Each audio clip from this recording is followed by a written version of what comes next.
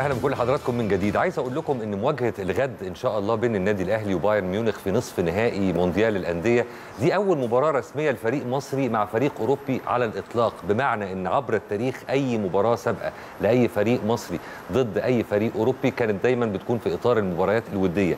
طبعا الأهلي عنده العديد من المباريات الودية مع الفرق الأوروبية المختلفة وكان ليه قبل كده مواجهتين مع البايرن ميونخ واحدة كانت سنة 77 والثانيه كانت سنة 2012 طبعا هنتكلم عن نوستالجيا الاهلي في المباريات مع الفرق الأوروبية. وطالما قلنا كلمة نوستالجيا يبقى مين أحسن حد في الدنيا؟ يكلمنا عن تفاصيل النوستالجيا غير الأستاذ محمد صادق وهو مدير مؤسسة الأرشيف العربي. صباح الفل على حضرتك. صباح الخير يا أستاذ كريم. شكرا جدا للمقدمة الجميلة دي. ربنا يخليك. أنا أنا مجهز نفسي للاستمتاع بذكريات حلوة وملاحظاتك التي لا تخلو من طرائف.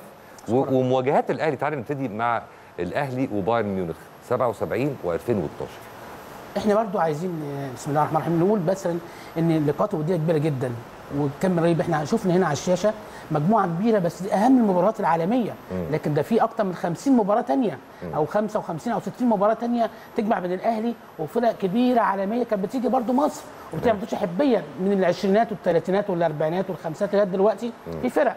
يتعرض دلوقتي بتاع حوالي 25 لقاء لكن ده في بتاع 50 60 لقاء إن شاء الله لما نجيبهم تاني الناس تشوفهم. القرن موجودين. لكن إحنا مش هنقول المدريد بس عشان هو دلوقتي هو الحدث اليوم. لكن إحنا نقدر نقول إن من جايبين النهارده نبذة أو جايبين بعض ال- الزهور من جزيرة الورد كلها ها؟ إن في مثلا هنجيب بعد كده أول لقاء أنا شدني كان في 1958 وكان فرقة ألمانيا جاية مصر. أوكي المنتخب. منتخب جايين يلعبوا جايين يلعبوا ماتش ماتش وديه لعبوا مع مين؟ مع النادي الأهلي. حلو. النادي الاهلي 1958 عمل مباراة وهنشوفها صورتين دلوقتي. ها مهمين جدا. الأهلي لعب منتخب ألمانيا على ملعب التتش الله. مش ع... كان لسه استاد القاهرة ما فتحش. طبعا.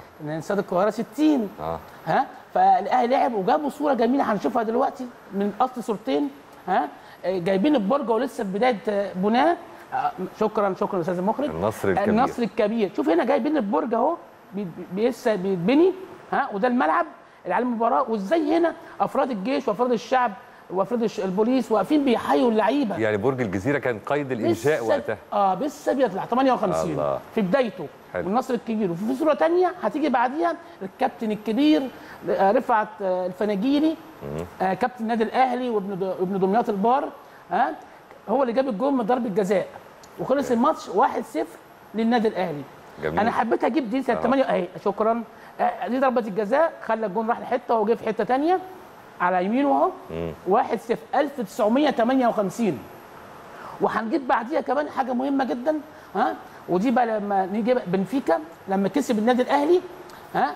عايزين نقول إن الأهلي ما اتهزمش. الأهلي كسب الماتش ده 3 2 هو اللي فاز. آه الجميل بقى في 63 في 62 إن آه، الفريق البرتغالي بنفيكا ده كان بطل أوروبا. وجاي محتفي بطوله أوروبا وغالب مين؟ كان غالب ريال مدريد في النهائي. أوكي. وكان ريال مدريد ساعتها هو الفرقة الع- العظيمة اللي بتاخد أربع خمس بطولات ورا بعض في أوروبا. فهو غلب وجه على هنا آه، أشكرك. آه، هنا شوف بقى مين هنا كابتن صالح سليم وكابتن آه، رفعت الفناجيل وشيخ طه ها وهنا لقطة حلوة حية من المباراة نفسها بنفيكا وده ده ده شريط فيديو نادر جدا. الله. إحنا كسبنا 3 2 ساعتها. آه، واللي جاب الإجوان بقى في حاجة جميلة برضو كانش في تعصب زي دلوقتي كان زمان مفيش تعصب. كان في اثنين ضيوف من أندية أخرى بيلعبوا مع النادي الأهلي كابتن. محمد بدوي من المصري والكابتن بدوي عبد الفتاح من الترسانة اللي جاب الجون. والجونين التانيين جابهم آه، الشيخ طه جاب جونين في الماتش دوت.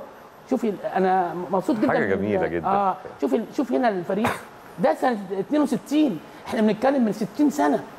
بنفيكا بطل أوروبا جاي محتفي وجاي يعني جاي من أوروبا على مصر. بنشوة النصر بقى. بنشوة. طبعا. واختار النادي الأهلي بطل مصر نلعب معاه. أوكي. وماتش جميل ها؟ والعالم كله اتفرج عليه. والأهلي يكسب 3 2 وكان ساعتها مين؟ يعني إحنا غلبنا ساعتها بنفيكا وغلبنا ريال مدريد. آه طبعا. بطبيعة الحال. آه طبعا. آه كان طبعا. كان ساعتها بقى النجم العبقري أوزيبيو ها؟ آه، اللي راح كأس. العالم 66 بعد كده. طبعاً، فدي. مباراة جميلة والفيديو ده لا وحتى حتى ريال مدريد نفسه يعني كان لينا قبل كده مواجهة مع ريال مدريد ولينا قبل كده مواجهة مع برشلونة. ريال مدريد في 77 ها؟ إحنا كسبنا 2 1 واللي جاب الجونين مين؟ الكابتن شطة عبد المنعم والكابتن الخطيب. الله. 2 1 وفي 2001 أظن كان برضه 2001 لقاء معاه. آه, آه طبعا كان كابتن آه، بركات تقريبا. أو آه، في 2001 وفي ده غير ماتش بركات بتاع الأخير ده 2 1 وفي ماتش 2 2 وفي ماتش بايرن ميونخ بايرن ميونخ كسب الأهلي 2 1 يعني عبر تاريخ النادي الأهلي مفيش غربة من فكرة إن أنت تواجه بطل أوروبا.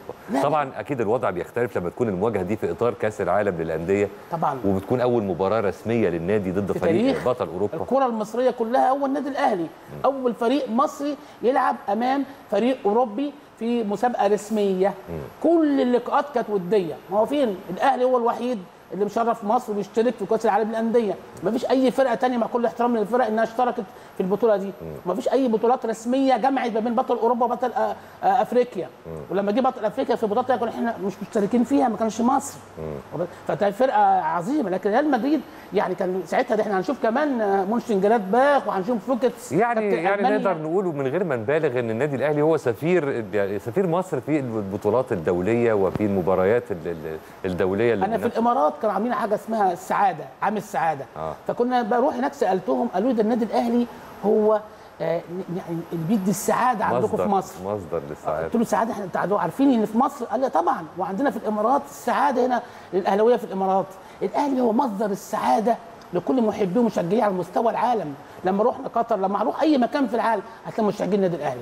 الفانيلا والاحترام وازاي لما جم ده ده ماتش 2001 ماتش ما ننساهوش. وكان بقى زين الدين زيدان. وكنت أنا جايب كام آه، جورنال كده جايبين النتيجة. ها صندي لما جاب الجول آه. وكابتن حسام غالي والكابتن خالد بيبو وضيع كورتين في العارضة وانفرادين ماتش جامد. كان ماتش ده كان احتفالية رهيبة كان كان ساعتها كابتن مانويل جوزيه ها ماسك النادي الأهلي وهو كان لسه اللعيبة إحنا بقى ما طورناش وبتاع وكسبنا قدرنا نكسب ريال مدريد ولعبنا مع برشلونة يعني أخ يعني خسرنا من برشلونة أربعة طب ما يجوا الناس بقى أصحاب النبرة الانهزامية يسمعوا الكلام اللي حضرتك بتقوله لأن في ناس كتير الحقيقة هو طبعا بايرن ميونخ كاسم وكتاريخ بطبيعة الحال حاجة تخض جدا مش هنختلف على. ده بس ساعات بتلاقي في وسط كل يعني في وسط ال- ال- الناس الكتيرة اللي اللي متفائلة تلاقي واحد طلع لك في النص كده يقول لك بايرن ميونخ يا ريس ده إحنا ده هيبقى فيه سيرك منصوب في الم... ليه؟ معلش ده عقليات هو غني- قلت له تعالى انت طب ما تيجي انت سيرك طب تعالى امسك انت الحبل يقول لك هاجي بس دخلنا السيرك.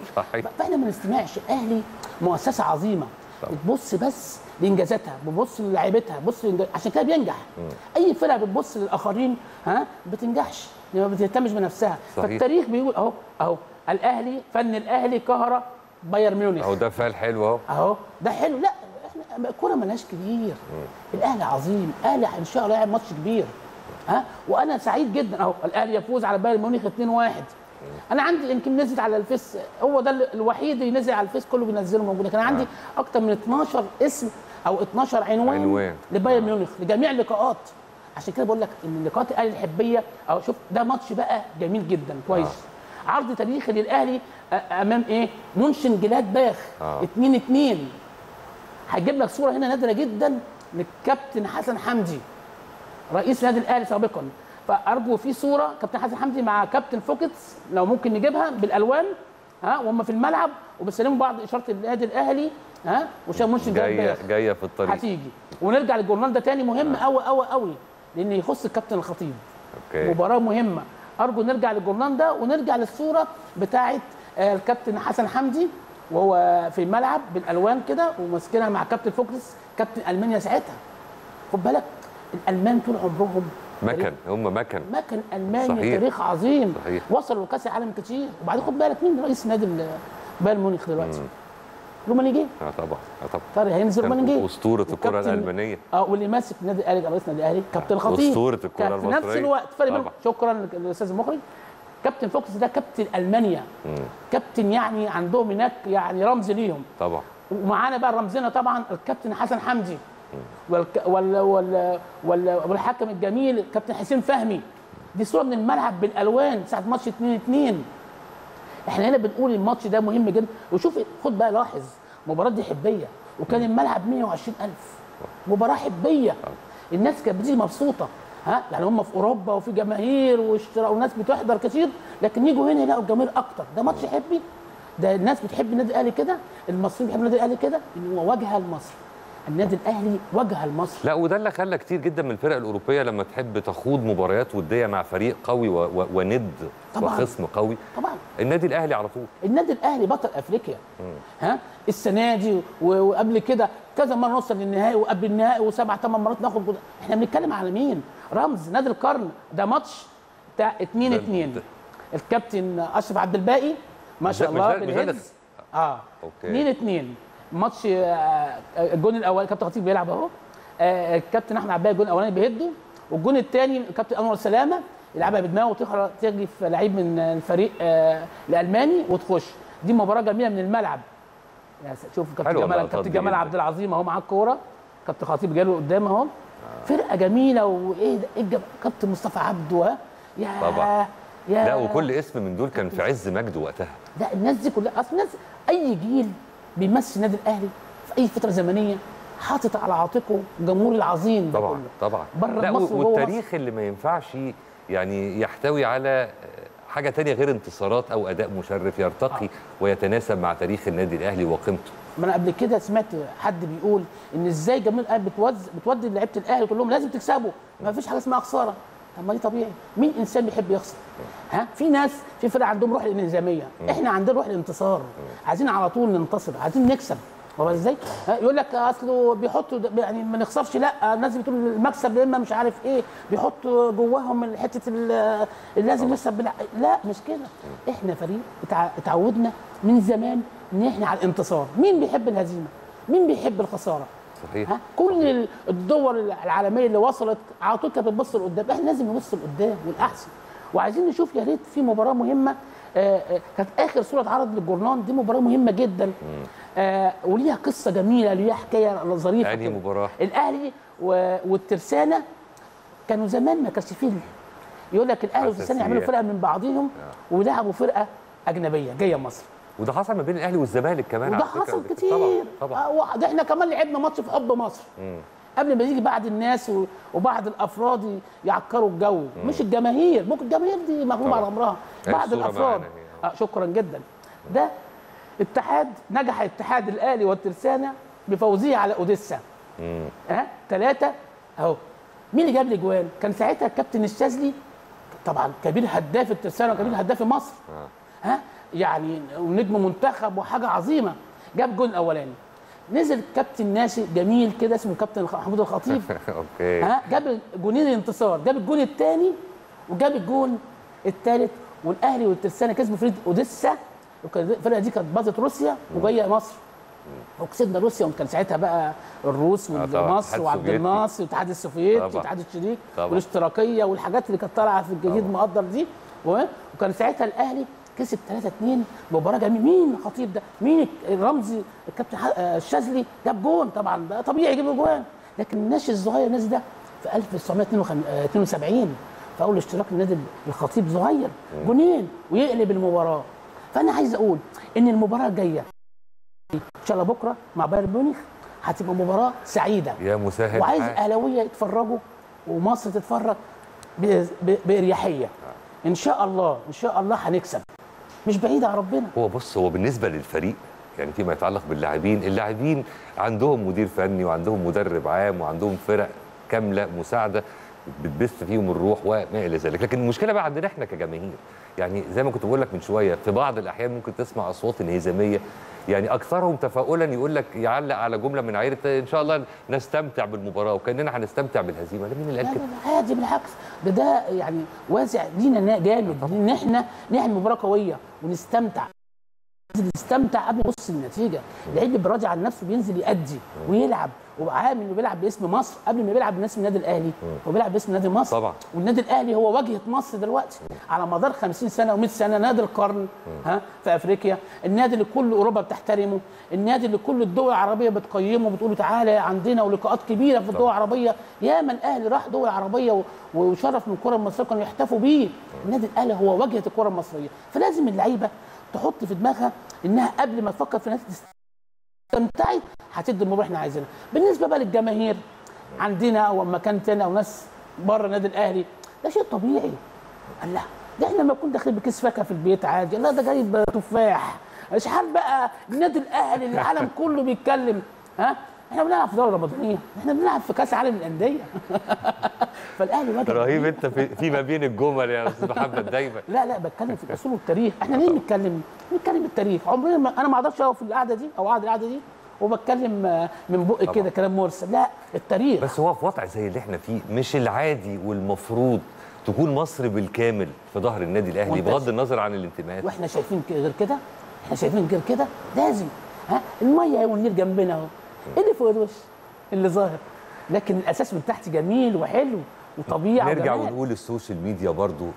ساعات بيبقى لها انعكاسات سلبية جدا بدل ما بتوحد ساعات بتفرق أكيد بس إحنا برضو نقول إحنا لو قعدنا نستمع نستمع مش هنك يبقى الأهلي ما كانش وصل أفريقيا ما كانش خد أفريقيا ما كانش خد الدوري ما كانش خد الكاس ما كانش عمل 100 سنة إنجازات ما كانش. خد نادي القرن صحيح. لو قعد يستمع من 100 سنة لكل الناس اللي حاولوا يوقعوه أي إنسان ناجح في أي مجال ها؟ البعيد والقريب حتى أقرب ما ليه يحاول وممكن يبقى واقف جنبه ولا إحنا بنشجعك وهو بيحقد عليه ها؟ وممكن بيحقد عليه وهو بعيد عنه. طبعا. فلازم نقول إن إحنا نبعد عن ده إحنا نركز عندنا هدف. هدف إسعاد جماهير مصر قبل جماهير النادي الأهلي. جماهير مصر وجماهير النادي الأهلي وجماهير العرب كل العالم بيتفرج علينا. صحيح. بيحترمنا. أداء مشرف احترام أدب قيادة مشرفة. إزاي في عيد الميلاد كابتن محمد شريف إحنا بنتفرج عليه على الميديا؟ إزاي الحب والاحترام؟ صحيح. نشوف بقى ده بيديله إيه ده بيعمل له إيه ده بيضحك في وشه لا ده بيعمل كده. نشوف التفاحه إيه العيب فيه؟ ده, ده احمر الخدين. يا نهار أبيض في تفاح أحمر الخدين. إحنا عايزينه مخضر ده, حتى ما يصح. عايزين عايزين مصفر عايزين أصفراوي عايزين أحمر أخضراوي. طب أنا عايز أسأل حضرتك طبعا أنت عندك أنا عارف إن أنت عندك كمان يعني في المكاتب عندك الخاصة بيك وفي البيت عندك كنوز آه، أرشيفية من الجرايد المصرية والعربية وكتير قوي من المانشيتات اللي بتتكلم عن قوة وتاريخ وأمجاد النادي الأهلي. دي في الأول وفي الآخر هي صحف عربية. جات لحضرتك قبل كده فرصة الاطلاع على صحف أجنبية وقريت المانشيتات بتاعتهم اللي بتتكلم عن النادي الأهلي وخصوصا في المراحل الزمنية دي اللي إحنا بنشوف منها لقطات حية كده من بعض المباريات الزمن الجميل ده. واشنطن بوست والجرايد الإنجليزية زمان. أنا عندي مجمع كده في الجرايد والمجلات والكتب والصحف الجغرافية. عندي حوالي 100 سنة جرايد إنجليزي وفرنساوي كانت بتصدر في مصر. حتى كان في مجله اسمها Images بالفرنساوي وبتصدر في مصر. okay. كان زمان في نوع جاليات كثيرة في مصر زي ما اتكلمنا قبل كده. آه طبعاً، آه طبعاً، طبعاً. قلنا كل جالية ليها وضع وليها صحيح. مجموعة بيتجمعوا ففي الجرايد زمان تشوف بقى تغطية غريبة تستغرب. إن الإنجليز والفرنسا كانوا بيعملوا تغطية أكتر من التغطيه الجرايد المصرية. إزاي؟ كانوا بينزلوا مصورين خاصين وصور على أحدث الصور وازاي تشوف؟ إزاي بيجيبوا النادي الأهلي ها؟ وهو بيلعب مع الفرقة. فرقه جاية من فرنسا. من إنجلترا. طبعا كتير من ألمانيا. ها؟ يجوا يلعبوا مصر. الجرايد الأجنبية والمراسلين الأجانب في مصر كانوا يعملوا أكبر تغطية للمباراة دي. لأنها كانت بتوصل لبلدهم طبعا وهنا طبعا. شوف شوف الشيء الجميل والتصوير غير عادي. وإزاي بي- بيعملوا بيفردوا صفحة كاملة عن الماتش. إحنا كنا ممكن نجيب حتة صغيرة كده مربع صغير الأهلي يكسب آه ضرب كاوينتي. ها؟ الأهلي يكسب آه باي- بايرن ميونخ الأهلي يكسب حاجات صغيرة. لكن ده زمان مجلات فرنساوي إيماج ماتش آه جرايد آه آه، واشنطن بوست الجرايد الإنجليزية كل كاملة كانت بتنزل في مصر من بداية القرن إحنا عايزين بقى نستأذنك طالما كده أنا ما كنتش أعرف كمان إن عندك الجانب ده من لا، من. المطبوعات الأجنبية فرنسا. كمان ده الصور فوتوغرافية. فيا ريت بقى إن شاء الله في مرة برضو من المرات اللي حضرتك تيجي تنورنا فيها في 10 الصبح في الأهلي نستعرض معاك بقى صحف العالم كيف رأت النادي الأهلي في أزمنة مختلفة أنا للأسف الشديد أنت عارف إحنا بنكون محكومين بفترة زمنية معينة فوقتنا في الفقرة دي بيوشك على الانتهاء يا دوب ألحق أشكرك شكرا جزيلا كالعادة بت يعني. بتمتعنا بوجودك معانا وبمعلوماتك الوفيرة ونرجع نلتقي بيك على خير إن شاء إن الله شاء قريب. الله ربنا هيوفقنا يا رب. وهيكبر بخاطرنا يا رب. وتحت أي وضع إحنا فخورين بالنادي الاهلي العظيم. بطبيعة الحال. طيب بعد الدعوتين الحلوين دول من الاستاذ محمد صادق مدير الأرشيف العربي اللي بنشكره شكرا جزيلا على. وجوده معانا. هنطلع فاصل ونرجع نكمل مع حضراتكم آخر فقرة من فقراتنا الحوارية في 10 الصبح في الأهلي. اتفضل.